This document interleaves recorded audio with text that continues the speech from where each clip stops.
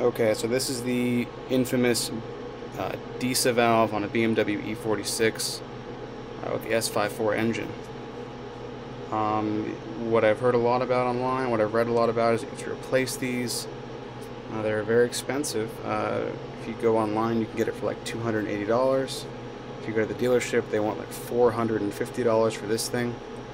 And uh, really the test uh, for the DISA valve to see if it works or not is when you go like this,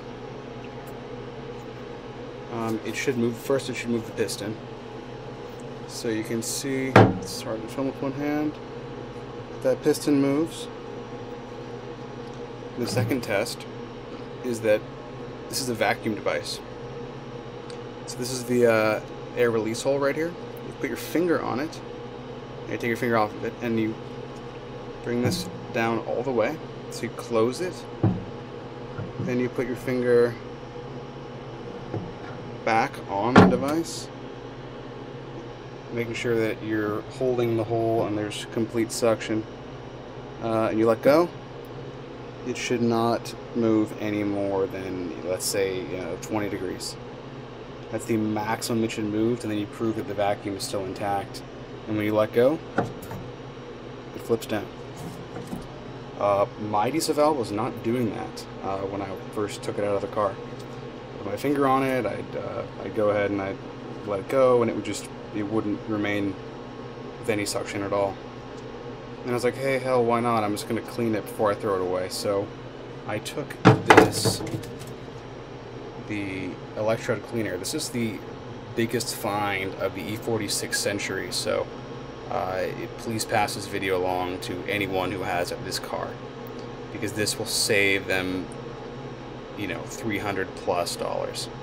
Take this you spray it down. I sprayed everywhere. I sprayed you know all around here. I sprayed in the, in the pump area like in that where that lever is sprayed inside there. That's an active area. I sprayed inside the hole as it was upside down so I flipped it over and then I sprayed upwards inside of there and really just sprayed the shit out of it. Uh, sprayed down the whole valve area, sprayed it all down, and and then now it's fixed, which I've never heard of this solution before. And I've read hundreds and hundreds of pages on the DISA valve, and no one has ever told me this. So pass this along. This is an easy fix and please excuse the holes that I drilled in my DISA valve, uh, give or take a year ago, uh, to, I don't know, compensate for my insanity would probably be the best description of drilling these holes in the DISA valve. Uh, don't do that. It's a bad idea.